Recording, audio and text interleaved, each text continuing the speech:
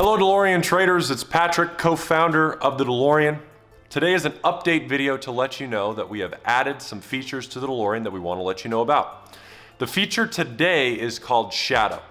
This can be found in the top left corner of the DeLorean under Strategies by just simply clicking on Shadow. When you click on it, what you will notice is you'll have a brand new panel. This is designed so that you can get the trade markups of the DeLorean professional traders. This is going to allow you to follow along the exact setups that myself, Abel, and Tyrone are trading so that you know exactly when and where we are entering in the market.